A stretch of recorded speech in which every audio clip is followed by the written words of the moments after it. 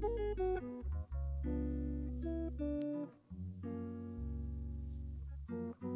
Sono Elisabetta Falchi, eh, sono rappresentante dell'azienda agricola Falchi, un'azienda storica che esiste dal 1792 eh, qui ad Oristano. Noi siamo produttori prevalentemente di riso, oltre che però anche di altre mh, colture tipo grano e mh, ultimamente abbiamo sperimentato la lavanda per dare un po' di colore alla, alla campagna quando è verde dei campi di riso, è bellissima.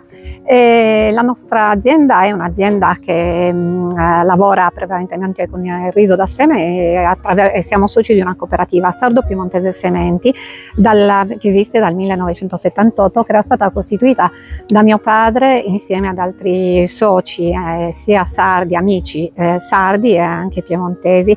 È una cooperativa che era nata con l'intento di fare qualcosa che allora era poco conosciuto, cioè chiudere la filiera, quindi vendere direttamente il riso da seme che si produceva molto rinomato eh, della provincia di Oristano, venderlo direttamente eh, agli agricoltori che poi sono gli acquirenti finali e quindi eh, da allora quindi siamo soci di questa cooperativa che nella, dal 1989 ha, ha, avviato un centro di ricerca di miglioramento genetico del riso e, e quindi abbiamo costituito nel frattempo tante varietà per, perché era necessario uh, ammodernare il parco varietale del riso. Tra le varietà che sono state costituite anche alcune particolarmente famose come il riso venere.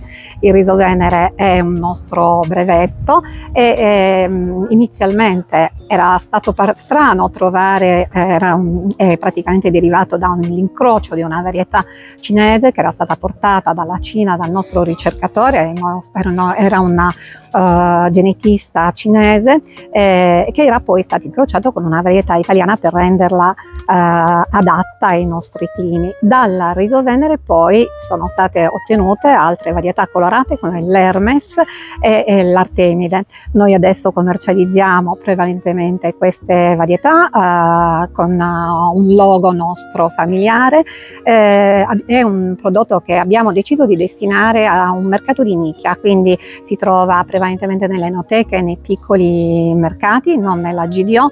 Eh, vendiamo molto online, online abbiamo anche che siamo conosciuti dall'estero e ci chiamano spesso dall'estero perché piace molto l'idea di conoscere un territorio, assaporare i, i, i sapori, appunto, eh, le qualità, le, le, specialità di quel territorio eh, e conoscere la storia soprattutto anche della, sia del territorio sia della famiglia che produce. Noi siamo tutte donne, è un'azienda al femminile, quindi siamo orgogliose di quanto fatto in questi anni e oggi orgogliose di essere a questa manifestazione.